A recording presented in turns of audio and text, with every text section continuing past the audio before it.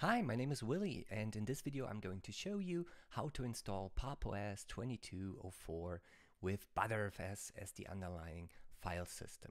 So I will use optimized subvolume layout so that you can make use of software like Timeshift to create automatic snapshots of your system and I will also show you if something goes wrong how you very quickly recreate your system using Timeshift and those automatic snapshots. I do have a guide on this as well with much more explanations and much more details on the exact steps and the actual commands that you can simply use if you plan to do a similar install. But now let's dive in. So I've booted my computer Actually, I would highly recommend that you install this on your machine first in a virtual machine. Okay, so there's a very good project, Quickemu, uh, which you can launch very quickly and try out the steps so you are familiar with the commands and you know what you're doing before actually doing this on bare metal. I am doing this on bare metal. I have a machine here where I have a dual boot system with several other Linux um, distributions and also Windows. So I do have to, to be very careful which disk I'm using. Now let me first uh, boot up the system, make sure secure boot is deactivated, um, and then I have I have Ventoy on the USB flash drive, which is a very useful utility so that you can simply copy ISO files to the USB flash disk and then you have all those different distributions which you can then install or run the live system. And for me, I don't have an NVIDIA system here right now, but I'm simply using the Intel one. Okay, so here we are. So first select the language, select the region, and I have a German keyboard.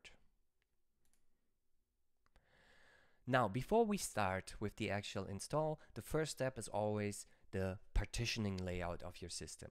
And uh, in previous insta installation guides, I did this manually on the terminal using the parted command line utility. Of course, you can use gparted for this, um, but I noticed that I more or less simply replicate the partition layout that PopOS does by default. Okay, so when I'm reinstalling PopOS, um, I either already have the recommended partition layout or I'm actually doing the installation twice. Okay, so I'm simply clicking clean install first.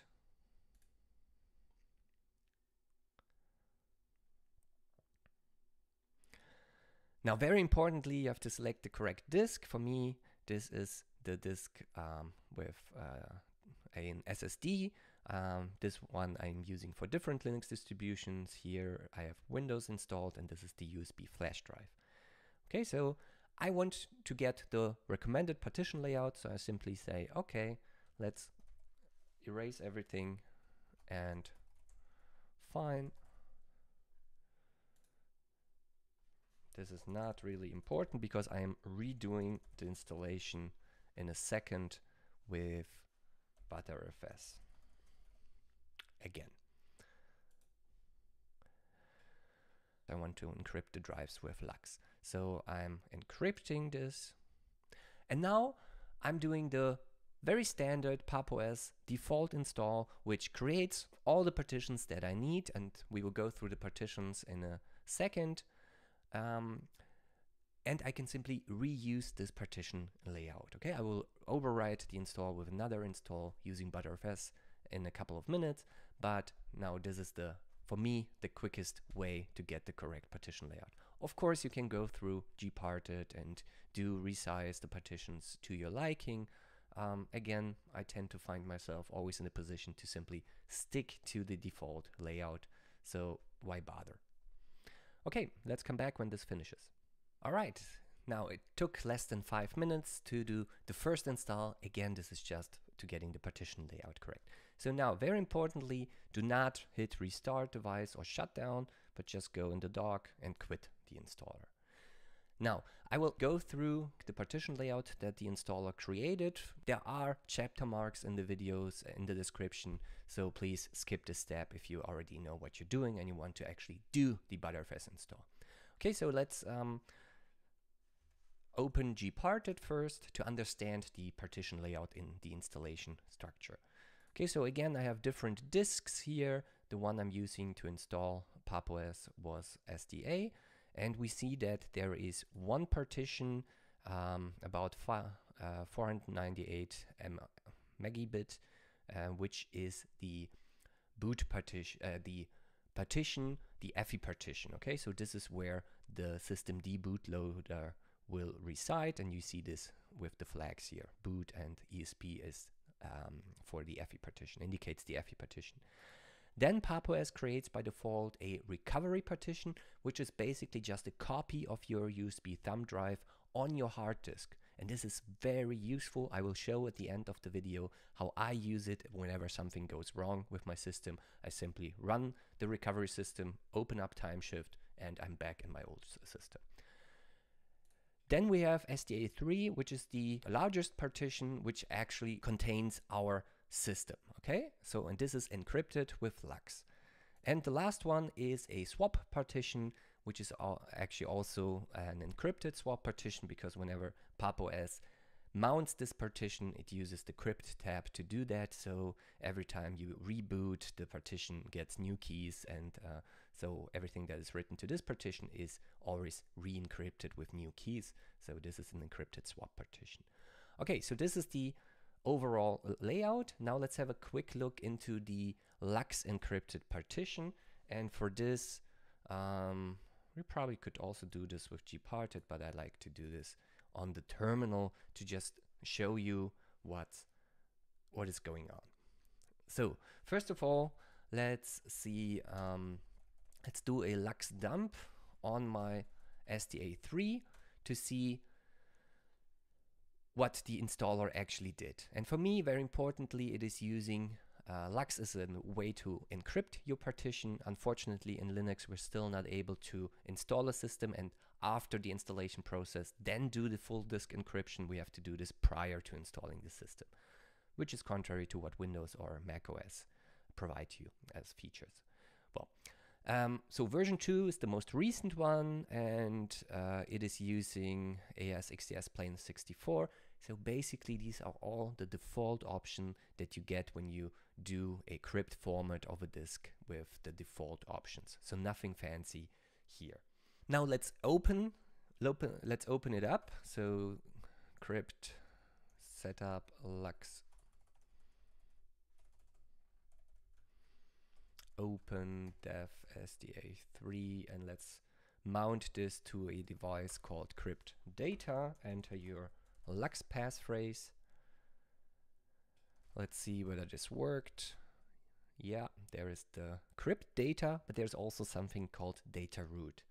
And this is very interesting because by default, when you hit encryption in the installer with PopOS, it actually uses LVM techniques, so logical volume management, which is a very fancy way to combine different disks to one partition. Okay, so this is a very flexible and dynamic way to do that.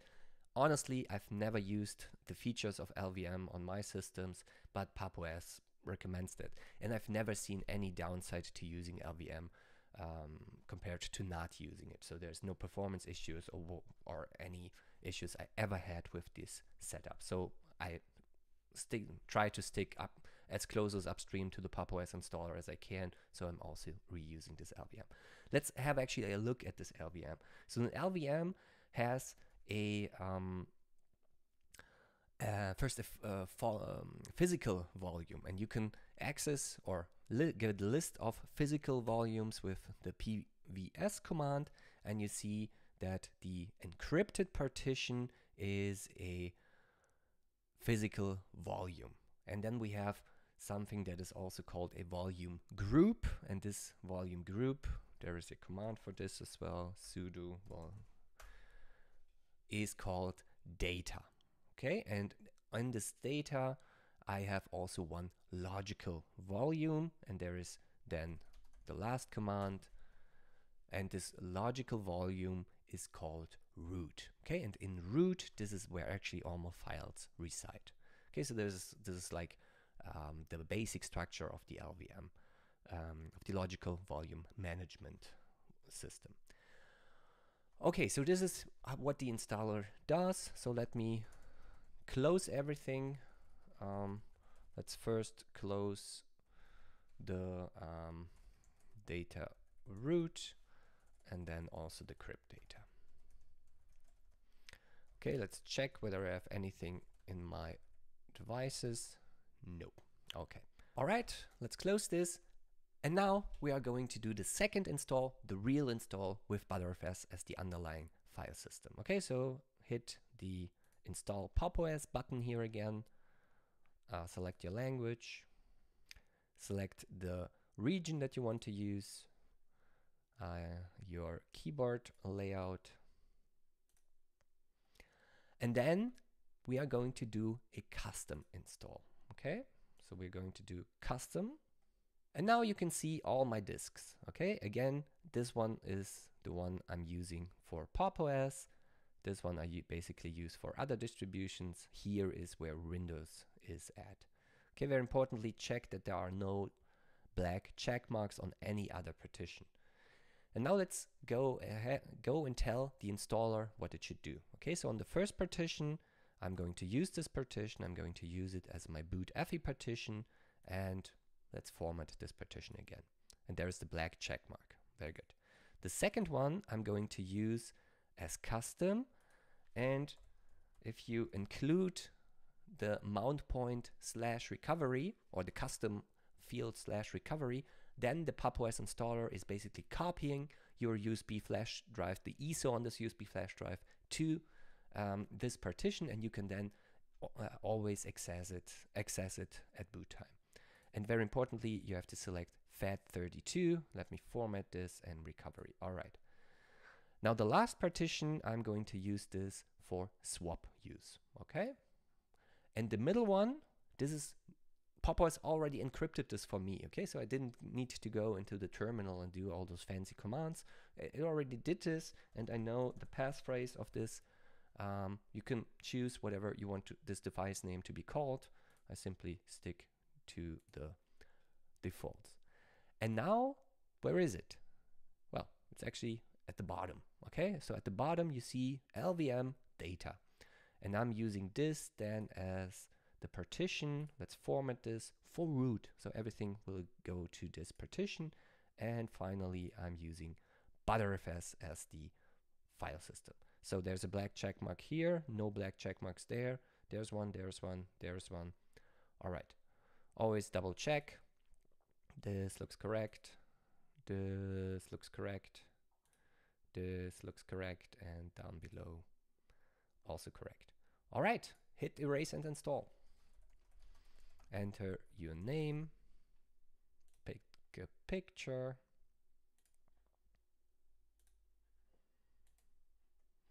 choose your password,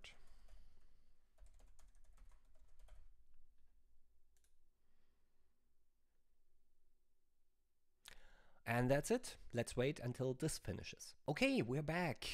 That was quick again. And now, do not hit restart device or shutdown yet. There's basically one major problem with PopOS way to install a Btrfs system and a minor one. So the major one is that PopOS does not create subvolumes by default. Okay, so for instance, Fedora creates root and home subvolumes and then the corresponding um, slash and slash home are mounted into these subvolumes. Timeshift requires add and add home subvolumes. Okay, so then slash is mounted into the add subvolume and slash home is mounted into the add home subvolume. And I really like Timeshift because it is a graphical user interface program and it is so neat to create snapshots and I will show you how to automate this process. So as first step, I do need to create those subvolumes add and add home.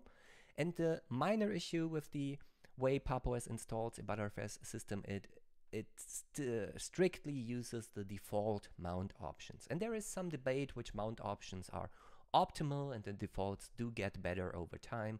I do tend to stick away to the um, uh, way Fedora mounts Btrfs partitions, um, so I will uh, slightly adjust the mount options. But this is rather optional and um, a, a preference that you might want to skip as well. So Let's do the post installation steps. Okay, so let's open up a terminal and let's become uh, root so we don't have to use sudo uh, so much. Now first let's open the LUKS partition and pick the name that you also chose in the PopOS installer.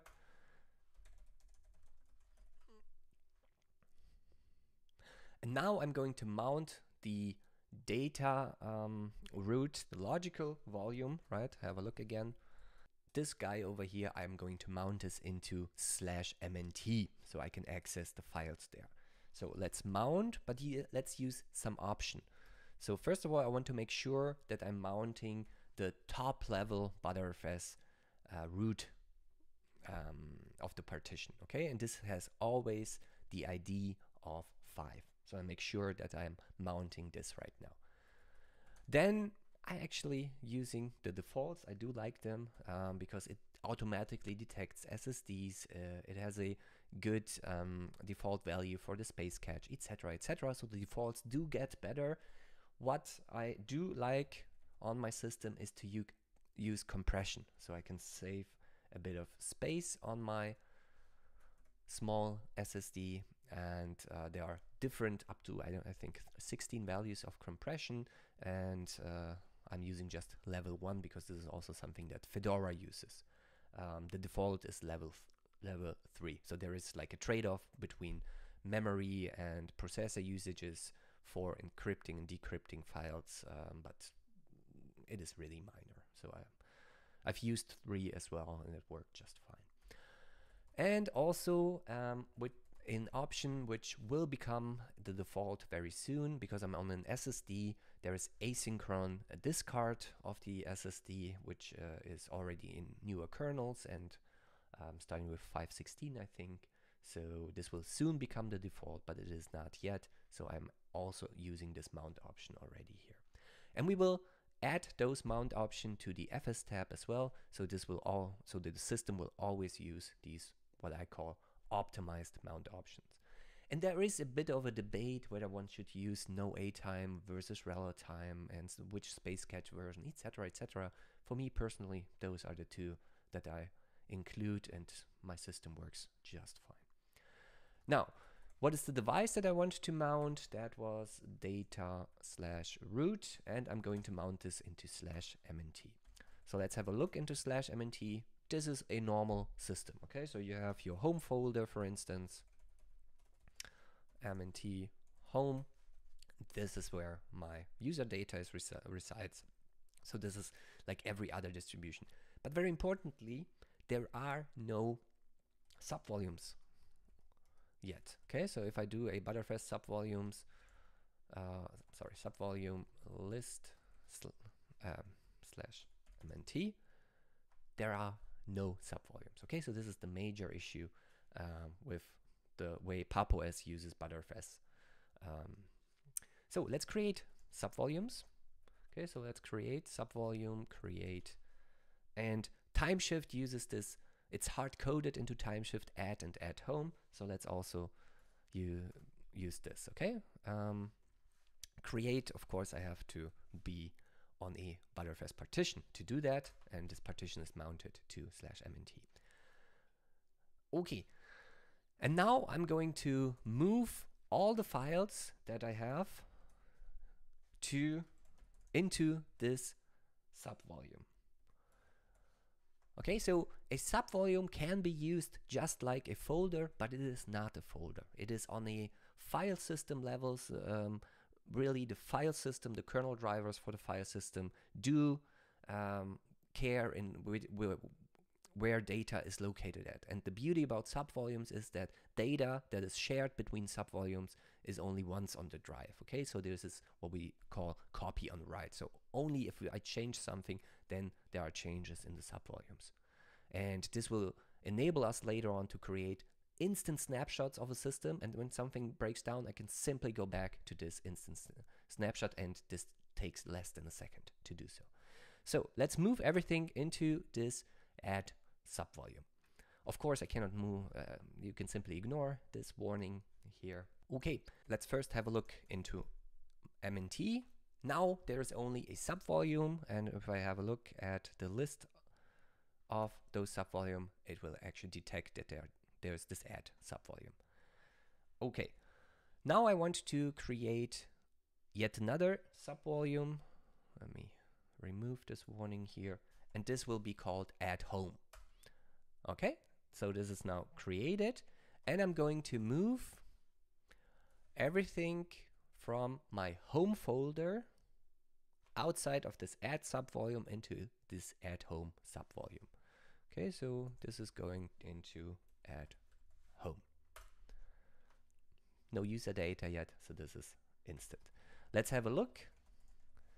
What is now in at and home? Nothing. Very good. What about at home? There should be my user folder. All right. And one more time, let's have a look at the subvolume list.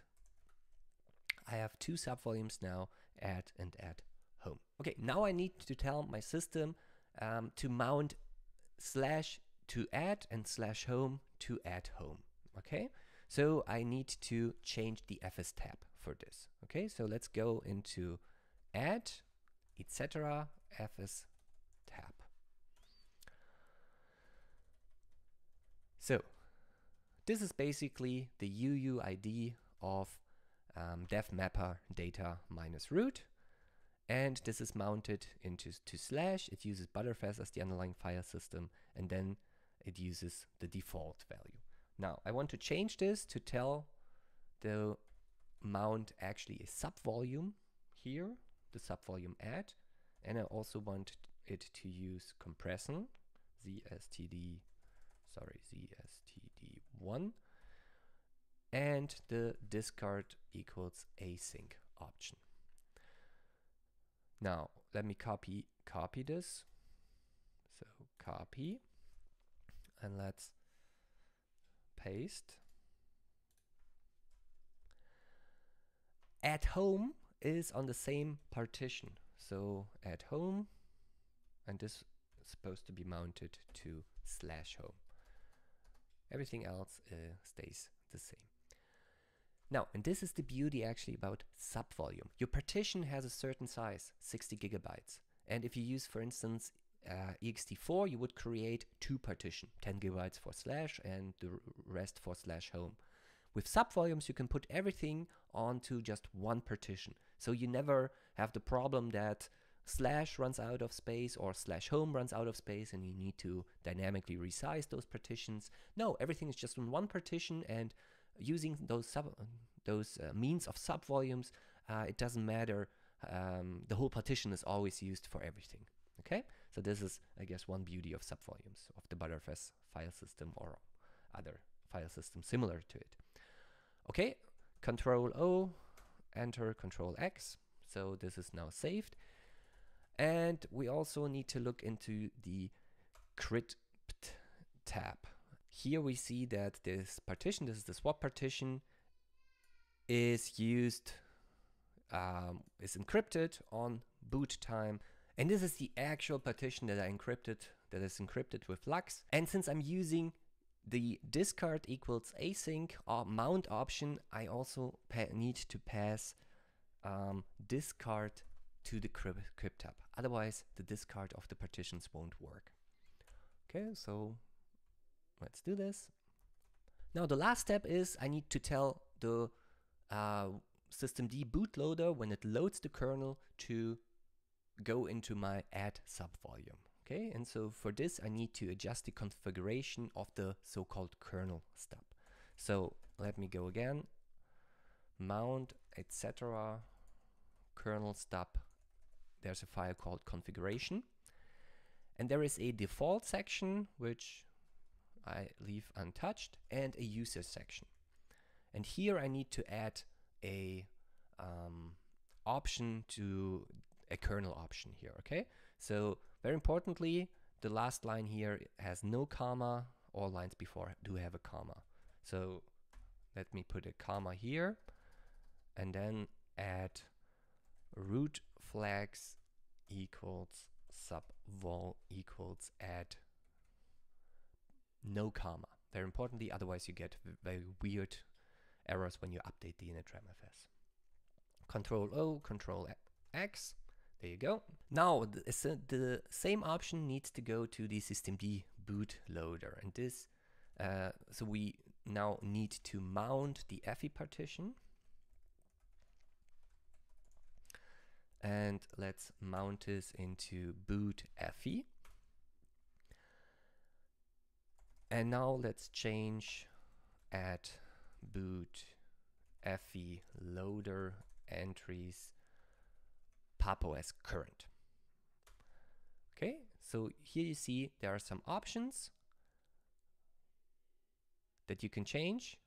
And after the splash, I'm also including now root flags equals sub vol equals add. Control O, Control X. Now, optionally, what I like to do, because I want to always be able to access the recovery system, I do add a timeout to the system, the bootloader. So you can do that into mnt add boot EFI loader loader.conf. So default is the PopOS current entry, and I do like to add a timeout of say three seconds. Okay, now let's go to slash and let's go into our system because we need to update the initramfs and we will use a chroot environment for this. Okay, so first of all, let's unmount everything and let's remount the add subvolume. Okay, so let's also use defaults, compress equals zstd1 and discard equals a sync and now dev mapper data root and let's map this. Okay, very importantly, previously we did subvol ID equals 5, that was the top level, so I can have a look in all the subvolumes. Now I'm going into the subvolume. I'm mounting the actual subvolume to a folder. Okay, so if I have a look now, the same story happens here. And now I need to map, uh, to mount the devices to the corresponding folders. And there is, um, if you have a look into on the systemd website how to repair the bootloader. It provides you the commands and folders and devices that you need to uh, mount bind. Um, so this is for I in those dev, pts, proc, sys, and run. Let's do a mount bind dollar i mount dollar i done. Okay, and now finally I can chroot into MNT. And now I'm not in the install in the ISO in the live system anymore, but I'm actually in my real system. So first of all, let's mount everything. Check whether the fstab works. And it tells you, yeah, successfully mounted, successfully mounted, successfully mounted. Some um, were already mounted. And the one command that you need to run from a root environment is to update the initramfs to pass those root flags on to the uh, kernel options. Okay, so minus C, minus K, minus all.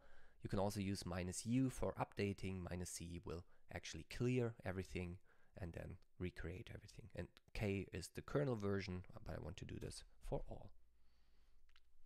All right.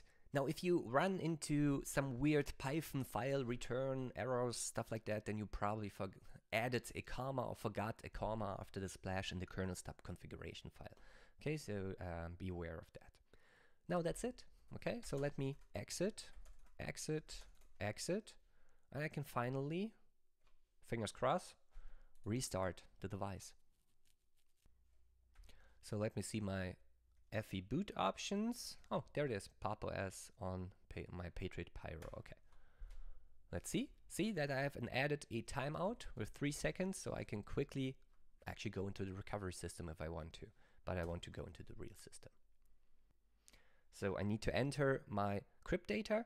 I do like to hit at first boot the escape key, so I have a verbose output of what is happening here. Okay, so now I need to enter, unlock my partition. I usually don't do this when I work with a system, but like after the first install, I do need to check that everything is okay.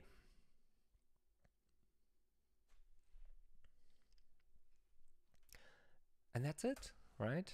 Here we are. We are welcomed with the welcome screen.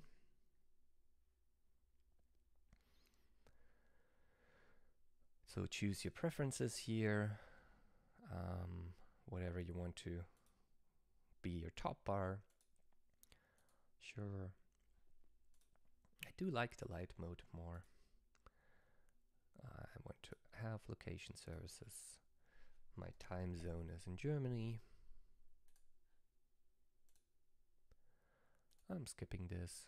All right, all is done. All is well. So let's double check whether everything is as we want it to be.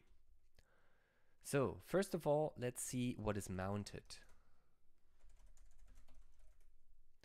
Boot EFI, recovery, none, slash and slash home. Very good.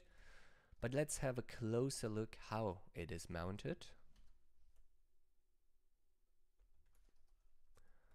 So let's grab everything from Dev Mapper. You can see that the Btrfs, Btrfs, and those are the mount options actually used. And those are the default values, and this is exactly how I like my systems. Okay, very good. Now let's check whether I'm using swap. Yeah, there it is, a 4 gigabyte swap, swap partition. And finally, let's have a look at the Btrfs file system. Show this is the device I'm using and the subvolumes list add and add home. Very good. So since I am on an SSD, I am using already the discard option in the fstab. Nevertheless, I do like to enable also the fstrim timer. Okay, so there is no harm in having both the fstrim command um, cleaning the free space of your SSD, but also the, using the discard option. So this is uh, there's no harm to do to have both. And lastly, you need to check whether um, in your lvm.conf if you are if you have um, a SSD whether this value is set to 1. By default it is. Okay, so this should be fine, but maybe for some reason something is off with your install. All right, so the next step before we before I show you how I use TimeShift is to of course um, update the system, upgrade the system, and do a final reboot. Okay, so let's do sudo apt update, sudo apt upgrade. Sure. Okay, let's do a full upgrade. This usually shouldn't do nothing. Okay, some packages can be removed. So let's purge those packages. And also run an auto clean command. Flatpak is activated by default. Okay, so let's do now a reboot and then I will show you how I use TimeShift. Okay, now let us install TimeShift first. So either use the software center or I like to use the terminal.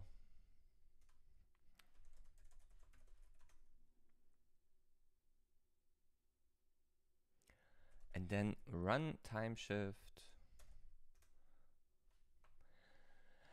And we want to use Btrfs snapshots. Select your disk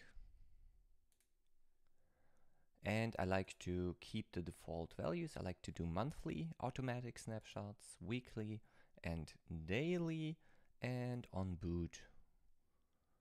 Okay, stop cron emails for scheduled tasks. That's awesome. A good call. And I do like to have snapshots of my user data of my home fol folder as well because sometimes I mess up and sometimes I want to restore a file uh, a week ago, a month ago, just uh, a day ago, and so I have them ready to access when I also do snapshots of my home folder uh, of my at home subvolume that contains my user data. Now then this option, the Btrfs qgroups option, there are a couple of issues that people have with these options. Personally, I've never had any issues and it is the recommended way so that you actually so that you can see how large your subvolumes in your snapshots are. Um, so uh, if you do run into some issues, mostly it is concerned if you manually also activate or deactivate or change the quotas system of Btrfs. But again, I, I, I never had any issues with this option. So let's have it here. All right. And now let's create the first snapshot. Bam. That's it. Okay, and let's now do a comment. This was more or less a clean install here. So this just took a snapshot of the current state of your system files and also of your ho home files and you can always revert to this state. Now everything that you do in your system is copy on write. So only if files change, only the changes are written into the into the subfiles. And this is all done by the file system uh, at the file system level and you do not need to think about this. Okay, so this is very nice. Okay, now um, let's close this. You do see an arrow here. This is just for the very first time when you run timeshift and quotas are not enabled, then timeshift will enable those quotas for you. So for instance, if I do another time, uh, um, another snapshot, um, okay, I can also do this on the command line of course, then no errors anymore. Okay, so just ignore that error there. Okay, um, I do want to have automatic snapshots whenever I do a sudo apt update, sudo apt upgrade, whenever I install a software, whenever I mess around with my system um, using apt, for instance. Okay, so if something goes bad, goes wrong, or I don't know, I installed a bad PPA and then I installed software, and I want to revert um, to preview to a previous snapshot. And for this, I've created a little hook for apt. Um, you can find it on my GitHub page, and I will show you now how to install it. This is really just running timeshift before any apt operation. So first of all, you need to install a couple of tools, um, git and make. And then you do a git clone github.com and the utility is called timeshift autosnap apt.git and I want to store this in my home user folder and let's call this timeshift autosnap apt. Okay, so let's go into this folder and since it's just a script, it is just a file that is copied to the um, to the hooks of apt, you can simply run sudo make install. And there is one configuration file that let's have a look into this one timeshift autosnap apt-conf. Here you can change some basic settings. Um, if you have a dedicated boot partition, not EFI partition, but boot partition, which we don't have, then this utility will also make um, a backup of that partition into the snapshot, but we don't have that, so we can actually simply do a false here. We do have an EFI partition, so the EFI partition will be um, backed up into the snapshots in a folder called boot.backup slash EFI. So if you mess up your EFI partition for some reason, you can always restore that given um, the files in this folder here. Now by default, I do not want to skip this, but I do want to do this. Um, delete snapshots if um, after three snapshots. Okay, so I only um, save three of those snapshots. Okay, and update grub. We are not using grub. Um, timeshift and there's actually a, a, nice package grub btrfs that also creates um, boot options so you can boot into individual snapshots directly from grub since PopOS does not use grub we can simply put this to false, but since we're not using grub anyways, this option is irrelevant anyways. So control O, control X saves this and let's see whether this works. So uh, how to snap apt, you can see that your EFI partition is rsynced and you created yet another snapshot. So if I open up timeshift again, you can see that we now have three snapshots. Okay, so we can always go back to the state of my systems um, to these three snapshots. Of course, timeshift will also check every hour if um, it, snapshots need to be done. So if you hit selected um, hourly, daily, weekly, monthly, or boot, then those snapshots will be created automatically and um, the retention policy will be used to delete older snapshots. The boot um, snapshots will not be done directly on boot, but about 10 minutes afterwards. Okay, so this is done by um, the files located in uh, etc cron.d um, cron.d and here you have basically two uh, cron jobs that run hourly or in boot and then check whether the retention policy requires you to delete or to do uh, actual snapshotting etc your top level root of your btrfs partition is located um, in this folder called backup, run timeshift backup. So when timeshift is run for the first time, it mounts the top level root, the subvol ID 5.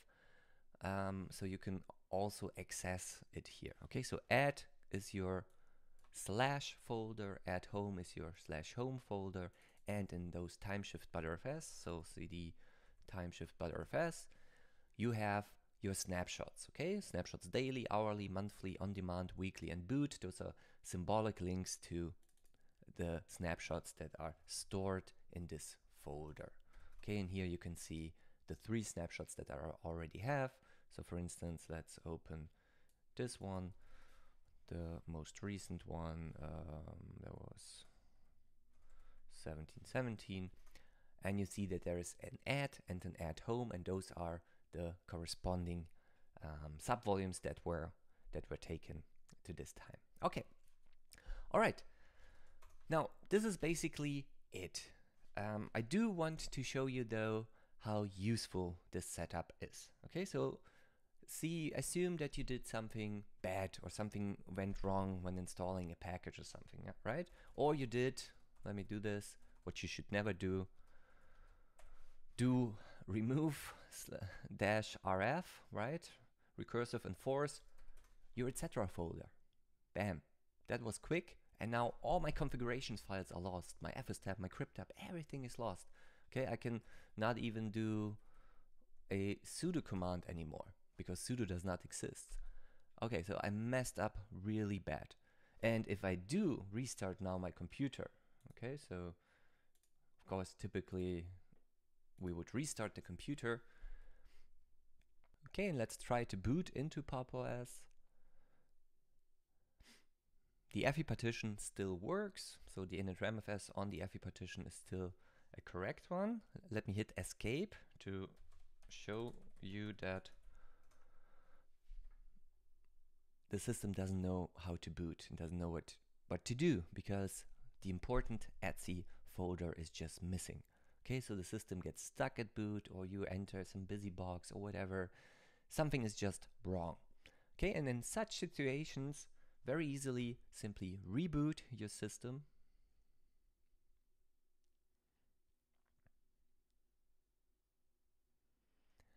And go into your recovery system.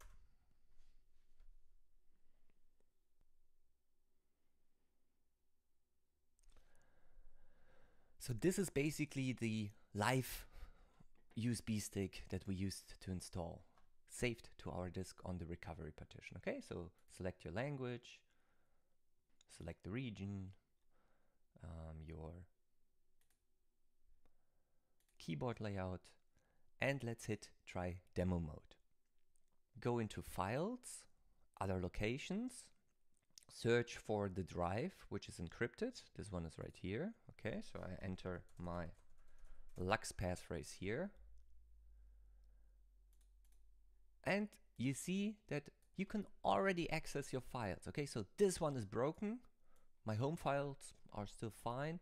And of course, I can go ahead. If it's just a file that I need, I can copy it around here. I can use those snapshots in a sense just like folders, um, but there are um, subvolumes. Okay, so there's a there's a difference, but a, but we work more or less the same with those. Okay, so I can access my files here if I need to restore an individual file, or a single file. But of course, we can simply may now make use of Timeshift. Okay, so let's install Timeshift.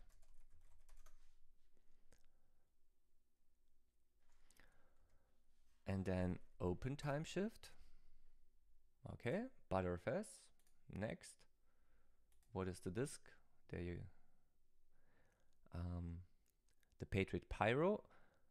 Even though it tells you it does not have a Btrfs partition, this is due to the encryption.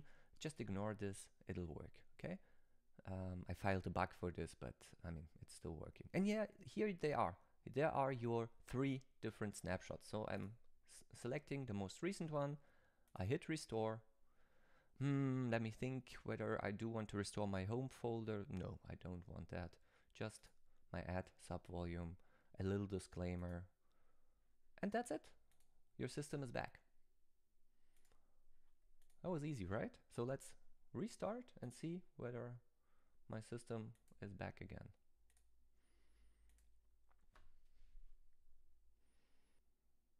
Let's boot into the actual PopOS system.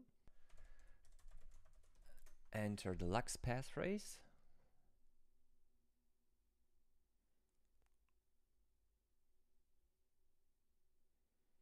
And there we go.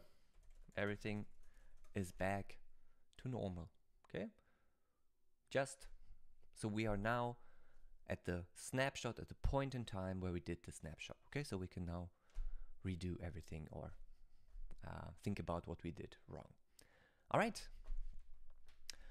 Okay, that is it. That is the system that I'm using since a couple of years. Um, I hope you found this uh, useful. Um, if I did something wrong or you have recommendations what um, I can do better um, on my system or what you do on your systems, please leave a comment and I'll see you in the next guide. Bye bye.